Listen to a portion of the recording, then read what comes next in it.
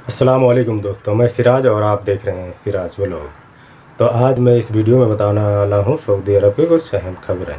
तो मैं एक एक करके पढ़ के आपको हिंदी में सुनाता हूँ।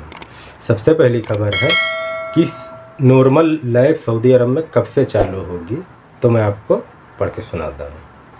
सऊदी अरब में जीवन कब पूरी तरह से बहाल होगा? सलाहकार और शोधकर्ता डॉक्टर बदर अल अशीमी का कहना है कि अगर कोरोना वायरस के खिलाफ प्रतिदिन एक लाख साठ हज़ार लोगों को टीका लगाया जाता है तो जनवरी 2023 तक सऊदी अरब में जीवन सम्मान होने की उम्मीद की जा सकती है।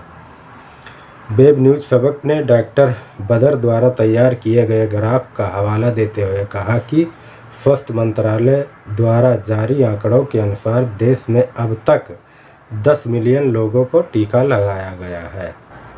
फरवरी 2021 के अनुसार टीकाकरण की दर फरवरी 2020 की अनुसार टीकाकरण की दर 25 से 30 प्रतिशत तक है।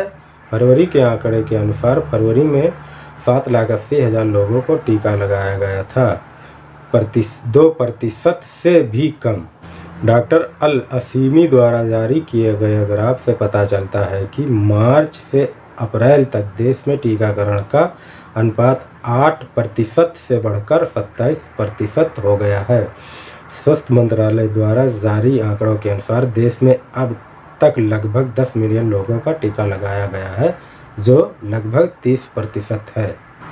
डॉक्टर बदर कहते हैं कि अगर एक लाख साठ हज़ार लोगों को प्रतिदिन टीका लगाया जाता है तो ये आशा की जाती है कि जनवरी 2023 तक देशों में 70 प्रतिशत लोगों को टीका लगाया जाएगा। तो एक खबर ये थी। एक खबर यह है कि जो मेहमानों का स्वागत करने के लिए पहले कारपेट जो लाल होता था तो उसका कलर बदल दिया गया है। तो उसको मैं आपको हिंदी में पढ़ के सुनाता हूँ। मेहमानों के स्वागत के लिए लाल के बजाय बैगनी, कालीन का उपयोग किया जाएगा। सऊदी अरब में रब के राज के मेहमानों का स्वागत करने के लिए लाल बजाय बैंगनी, कालीन चुना है। प्रमुख मंत्रियों, राजदूतों और भाई और मित्रों, देशों के प्रतिनिधियों के आधिकारिक स्वागत में लाल कालीन के बजाय बैंगनी कालीन बिछाया जाएगा। सबक वेबसाइट के अनुसार बैंगनी कालीन बसंत में सऊदी, रेगिस्तान और सऊदी पहाड़ और पहाड़ियों के रंग में मेल खाता है। बसंत में सऊदी अरब के पहाड़ बैंगनी फूलों से सुशोभित होते हैं। सऊदी संस्कृति में बैंगनी कालीन बहुत महत्वपूर्ण है। सऊदी अरब के विभिन्न हिस्सों में सार्वजनिक कारीगर आमतौर पर हाथ से वायलेट कालीन बनाते हैं। बैंगनी कालीन को सऊदी संस्कृति मंत्रालय और रॉयल प्रोटोकॉल द्वारा संयुक्त रूप से चुना गया है। तो ये एक खबर थी। एक खबर यह है कि विदेशी यात्रियों के लिए कोरोना चिकित्सा बीमा योजना का स्वीकृत। सऊदी सेंट्रल बैंक और सहकारी स्वास्थ्य बीमा परिषद ने विदेश जाने वाले स्थानीय लोगों के लिए कोविड नाइन्टीन जोखिम बीमा पॉलिसी को मंजूरी दी है। सबक वेबसाइट के अनुसार, नई चिकित्सा बीमा योजना के अनुसार सऊदी नागरिक को विदेश में पूर्ण स्वास्थ्य सुविधाएँ मिलेंगी। नए कोरोना वायरस से संक्रमित होने की स्थिति में सभी लागत जारीकर्ता कंपनी द्वारा वाहन किया जाएगा।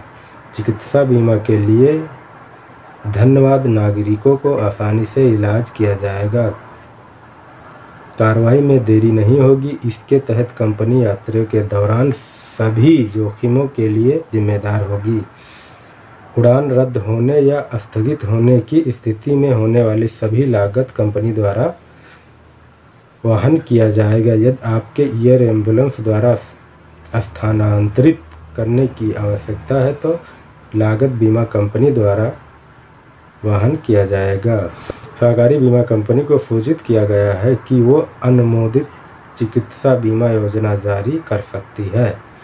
सऊदी सेंट्रल बैंक और सहकारी स्वस्थ ने सभी को यात्रा के दौरान कोरोना एस को सुरक्षा उपायों और सख्त पालन का करने और देश में जहाँ भी वे हैं, संबंधित अधिकारियों के निर्देश का पालन करने का आग्रह किया है।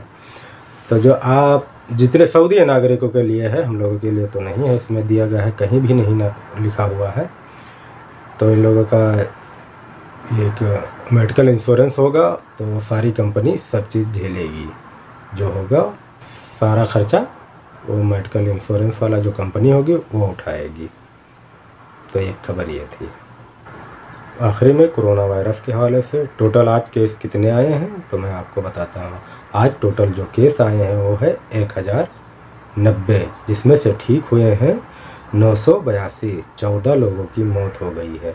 रियाद में सबसे ज़्यादा केस आए हैं चार सौ दो, मक्का में दो सौ अट्ठासी, ईस्टरन में एक सौ छत्तीस, मदीना में सत्तावन असीर में तैंतालीस, जीजान में चालीस, अलकसीम में तैंतीस ताबूक में छब्बीस और हायल में सत्रह, नॉर्थन बॉर्डर पे सोलह, नजरान में पंद्रह, अलबहा में दस और अलजोब में सात।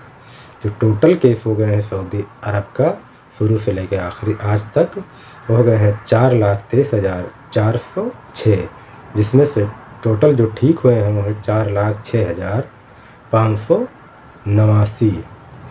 जो टोटल मौत हुई है वो है सात हज़ार बत्तीस। जो अभी एक्टिव केस हैं वो है नौ हज़ार सात सौ पचासी और जो गंभीर हालत में है, वो है एक हज़ार तीन सौ तैंतीस। तो ये था आज कोरोना केस के हवाले से केस कहाँ पे कितने आए हैं। वीडियो देखने के लिए बहुत बहुत शुक्रिया।